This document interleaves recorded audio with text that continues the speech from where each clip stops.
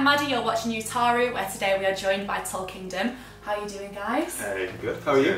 Very good, thank you. And so I know you guys both had solo projects before you came together. How did Tall Kingdom come about? Uh, so it's actually through work, which is kind of a little bit boring, I suppose.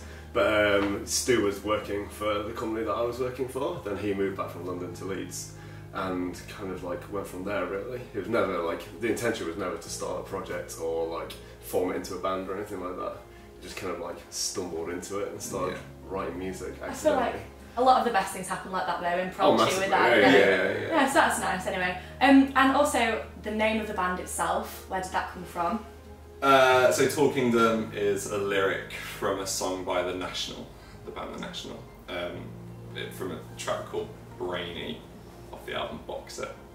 And I don't know, I don't, it, I like the way it looks, Yeah. I like the way it sounds. It's Fair enough, that's, words. that's pretty cool. That's that's a pretty cool way to come up with a name. Yeah. Um, did you have any sort of, was that the first one you stumbled across or was there a lot of brainstorming that went into it beforehand? Well, we were actually called Amber before. And the first idea was to release under Amber, but then it turns out that everybody in music's called Amber. I was going to say, I've So- heard of a band called like Amber Run and stuff like oh, that. Oh yeah, that's there's- nice. Yeah, Yeah, there's- yeah, don't worry about that. Yeah, Well, I've never heard of anyone talking to call Tall Kingdom Yeah, before, yeah. So, yeah, yeah. we couldn't Google that. search it, so it was a winner. it was like, no- nothing came up, so. yeah, fair enough, that's a good plan. So I know your EP Frames came out in July last year. What's the reception been like for that? Yeah, the reception's been great, really. Like, we've been quite fortunate. I mean, the way labels work these days, like, you don't get the backing like you used to, especially as a new artist and being, like, a complete unknown. And, like, obviously it's a little bit strange, 'cause, like you say, Stu and I used to, like, write under different projects and kind of, like, had a Mhm. following for those, but this is done, like, virtually anonymously, really. Yeah. So, it's, yeah. from the ground up. Um, Yeah. But that, I mean, that has its benefits as well. You end up, the first releases are always, I think, the most true to yourself because there's no influence yet. You don't know what people are going to like or dislike about anything that you do. So, um, Yeah, definitely. Like, I think I guess when you've built up a reputation as like, Yeah. you know, working on your own, people sort of expect you to produce something in a certain way. Right. Whereas when it's a new Yeah. project, Yeah. you literally can just do whatever you want, and no one can really say anything. yeah, Yeah. this doesn't really it. sound like either of us, Mhm. I would say. So- either of our previous projects. yeah. So would you say like your music is sort of if you're on one side and you're on the other, that meets exactly in the middle? Is there more of an influence from one of you, or is it fairly equal? Um, I'd say it's pretty even. By the time from from not having anything to having a finished track, I would say that um, you know we have like a 50-50 input on it. I think a lot of the way a lot of the way the sound is shaped and a lot of the production it's definitely all you. Like I don't I'm not good at um, later in the track kind of stuff. And then but then you know the early process is a lot of session bouncing back and forth. Like I might start something or Rich might start something, and then it all goes into a Dropbox, and then we just pick sessions out whenever we feel like writing and developing them over months. And by the end, I'd say we're pretty evenly split on Yeah. what comes Yeah, out. that's Um, it. Sounds like it sounds like a good partnership. Definitely, it's 50 well, it seems to working. Yeah. So going back to the EP, do you have like a favourite song off it? Is that like telling someone to choose their favourite child? I, I, I don't know about favourite per se, but I reckon the vocal track with Leo is probably like the most, Yeah. the most accomplished thing we've ever done in terms of like melodically and also like delivering something like as a finished thing. Because the vocal was actually written to a completely different song. But then um, we kind of like knew the vocal was amazing but the music behind it was like not what we wanted so to, to actually deliver that and it kind of come out how it did in the end was like I don't know probably like the best thing we've done I think Uh, Until like, now, yeah, yeah. I would agree. I, I still listen to that track and I can't really believe that we Yeah. wrote it. But I mean, that's part of having a great vocal. You, Yeah, uh. I mean, I've never really worked with vocalists before on the old project, and, and nor so it's you. You're listening back to something you wrote, but with someone else really performing it, and it, it creates a nice detachment that I've never had before. So whenever I listen back to that track, it's almost like I'm listening to it the same way as everyone else is because I'm really just listening to her.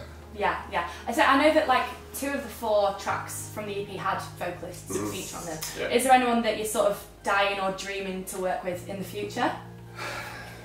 I mean If you could, or if you could choose anyone. Like, yeah yeah yeah I don't know I'd like like to work with more vocalists. I think yeah I think so yeah. I think something that's missing, not so, something that really helps tie a lot of this kind of electronic music together, are, are vocalist, guest vocalists, or having a vocalist.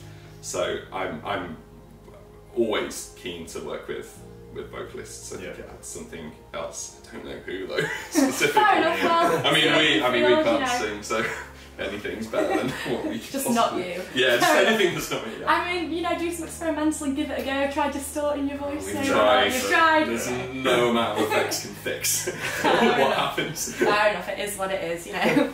um, so I was going to take us on a completely different track now Yeah. from vocalists, etc., to Leeds itself. Mhm. Um, so I've seen on your Instagram, I've been stalking you on Instagram, and I've seen you play Hyde Park Book Club quite Yeah. a lot, which is a gorgeous venue in like the basement downstairs. Yeah.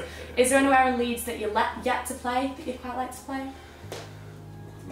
I mean, my number one venue in Leeds has always been the Brudenell. Yeah. definitely. Um, and yeah. we were really lucky in that the first show we ever played as a band, a live band, um, was there at the Brudenell. In the That's pretty good going, to be honest. it was it was very well it was lucky. Yeah, it was spoiled. It's hard to you know. I just, I just think it's such a great venue, and I mean, I suppose the other room in the Brudenell would be, Yeah, would be yeah. a nice Yeah. to play in every room. Uh, uh, but yeah, I think that's probably That's my just like it's just history though, isn't it? Yeah. Like, without a doubt. Like I we've mean, been like both of us have been at Leeds for a long time. Like Stuart like, went away for a little bit and came back, but like seeing shows in there for the last ten years has always been pretty like. Amazing. I was going to say, like, Yeah, who's yeah. the most, like, the best person that you've seen at Brudenell? Because I'm sure you've seen quite a few. Uh, I saw a band called a Silver Mount Zion there, which is Godspeed You Black Emperors of the band. Oh, right. Yeah, cool, yeah, yeah, yeah. Yeah, I know what you're about now. yeah, yeah, yeah, yeah, yeah. And that was like amazing, kind of like the most like quietest but loudest gig I've ever seen. Like it was to a point where they were playing guitar and like you could hear the guy like picking the strings on his guitar. It was like quiet. So yeah, it was pretty That's like really- yeah, That's it was it was That's pretty really intimate, cool. but then Nice. quite aggressive. So. Yeah. It's, it's- yeah, I mean, I, I think it's a good venue for aggressive music. Weirdly, Yeah. Um, Yeah. I saw a band called Health there, and it was the same. It was like punishingly loud, Mm-hmm. and uh, that room just seems to take it. It's crazy. Um, yeah, Health Gold Panda was really good as well. Yeah. That was like a really good party. Because it does, I think it does well. It spans genres so easily. Yeah. Yeah, like you can see like a Yeah. side project of someone from Godspeed, and then you can also go and see, you know, Or like Lapalux or Laplux yeah, or yeah. uh, Tokimonsta. That was Yeah, a really good one yeah, yeah. a few years ago. I think that's quite legendary. The Daedalus Tokimonsta. gig. Yeah, yeah. definitely. And I think, like you're saying, like j- because people know of like the history and like how iconic Brudenell is. Yeah. I think the energy there it could be anyone and it'd always be amazing just because of Yeah. the venue Yeah, itself. yeah, yeah, yeah. definitely. I think it's it sells gigs. The venue. I mean, people. Yeah.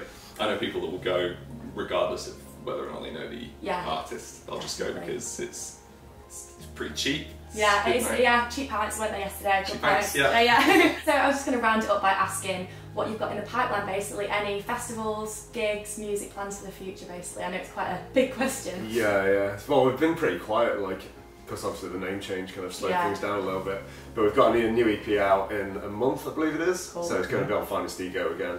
So that's all been like rounded up and mastered and finished. So that'll be quite Oh, nice. that's. And then uh, just a ton of writing really, and like kind of figuring out like what the next stage is, I suppose, Mhm. and like trying to like find out like kind of develop the sound, I suppose, to like be exactly where we want it to be. yeah. I think it's been Yeah. two EPs of like experimenting a little bit and like they still sounded great, but they're never quite where you want them to be. Yeah. they? So I think it's nice to be at a point in the process where you're not exactly Yeah. decided on where you stand. It's Yeah. Like I say, it gives you a chance Yeah. to play about, doesn't it, before you sort Yeah. of say this is us. that can be the negative of having like a ton of influences though. Like if Yeah. you've got so many inspirations, it's like you're constantly getting into new things, and then you're like, yeah, this is what it's going to sound like, and then you do it, and you're like, two months later, it's like, no, that's Yeah, a terrible. shout. Yeah, yeah, yeah. yeah, yeah, yeah. I think that's a big part of electronic music as well, generally. Mm. I mean, I suppose unlike a lot of other genres, still electronic music, you're in control of every aspect Yeah. of the music. You know, uh, you, you're not neither of us specialise in any one instrument, yeah. so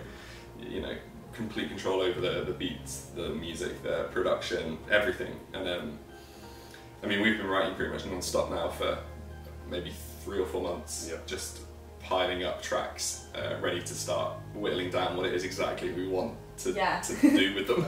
You know, But where like we want Judge's to take house it. is round of X Factor with a little poster. yeah, yeah. Yeah, yeah, it might come down to that at this point. It gets pretty aggressive. yeah. yeah. I guess that's. I think it'll be nice to look forward to being able to just all condense it and sort of finally come up with Yeah. that Yes. final piece. Yeah. But I imagine quite scary as well. Yeah. Yeah, I mean, committing to things is pretty intimidating, um, and also committing to a time frame Mhm. can be Yeah. so important for us.